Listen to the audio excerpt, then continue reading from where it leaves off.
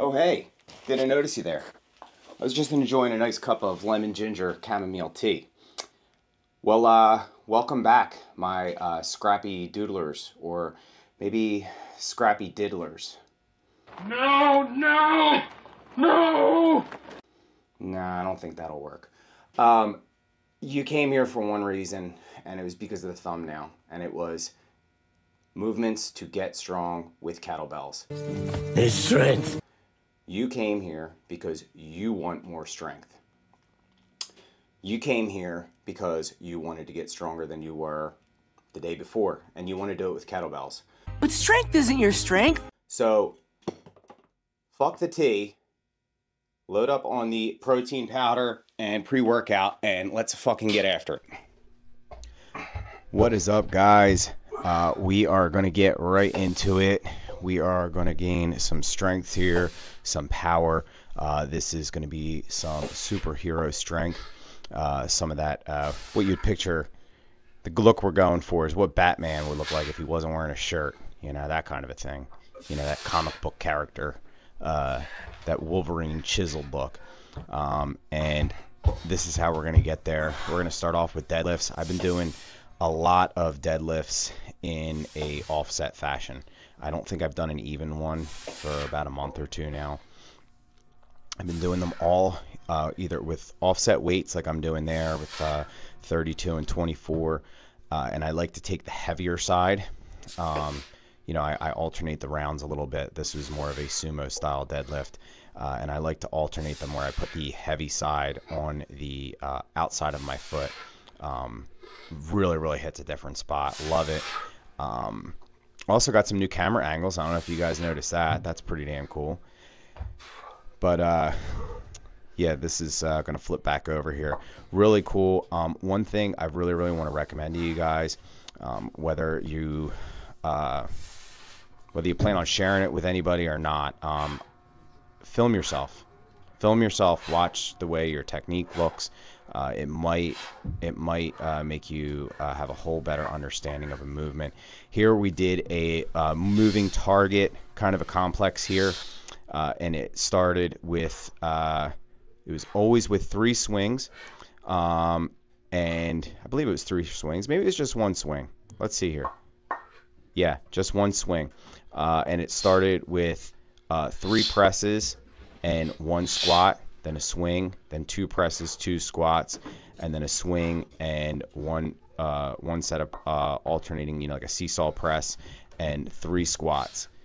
Um, really, really like this kind of stuff. Don't be afraid to mix it up, man. Just get it in. Uh, you will be very, very surprised at the end what your reps are uh, versus just doing you know a certain a number of reps and that's it and then move on to the next thing. Um, this is about having fun. This is sustainability here guys. Like how do we keep doing this over and over again and not get bored of it? Um, not get you know complacent. Uh, that's that flow state you know? I try to be in a flow state every single night um, and and challenge myself in different ways and come up with new things here are some curtsy lunges. I have also been doing a lot more curtsy lunges. Uh, one of those things that I really enjoy for the stretch of it. You know, the stretch is just really, really nice and um, not really able to get into it on my own without the weight. You know, the weight does add a little bit to it. Um, some might say that's not a good idea, uh, but as long as it's still feeling good, I, I just kind of keep doing it really works the hamstring and the glute in a different kind of way, and it really hits that like outer section of the quad. Um,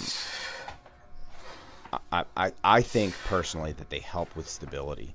Um, and if nothing else, they show you where you are unstable. Like for instance, on my left side, how I can be um, kind of kind of unstable there. So we're gonna let these kind of play out here. We got a few more to go. I did this as a like a ladder down. Um, it was four reps. Uh, you know, and, and another thing to think here, right? So when you do this like ladder down, kind of you kind of forget that you're doing it, but there's still a swing, you know, an alternating, you know, a swing to the other hand and a clean on each one. So if you did four, three, two, one, uh, there's going to be two on each of those.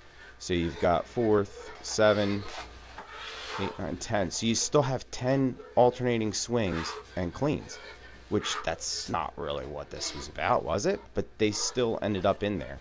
Um, kind of keeps that heart rate moving.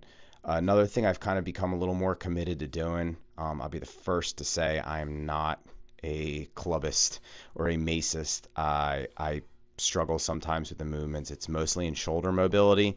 Another thing that I really do for for the stretch of it. This stretch just feels so good. Um, you'll see me kind of pause when I get to that swing over and swing over, and it's that pause is me just kind of stretching out my um, uh, my shoulder in a way that I wouldn't usually do it. You know, um, and for some reason I I don't do it, and I can't find that same position without doing it this way. So, uh, kind of interesting there. I'm gonna let these I'm gonna let these play out for a second here, and did kind of this overhead shield cast. Another thing I really do for the for the stretch of it here.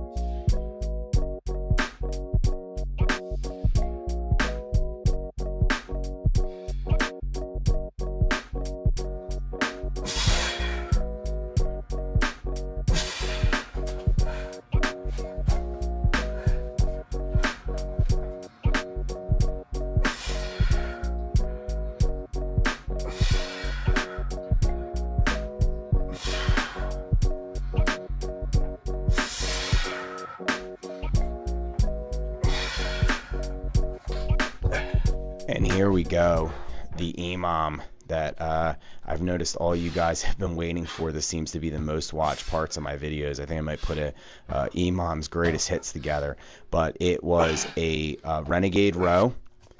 So this is the same the same one, just a different camera angle. Renegade row, Renegade row. Then we pop up in a burpee kind of a manner. We kind of sumo squat that there.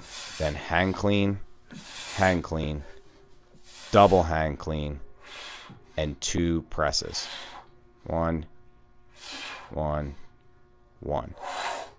Awesome EMOM. Um, guys, if you like what I am doing, if it is something, once again, if I'm earning, um, you know, earning something from you, if I'm adding value, uh, please, please subscribe, you know, share this, all that good stuff. Like it,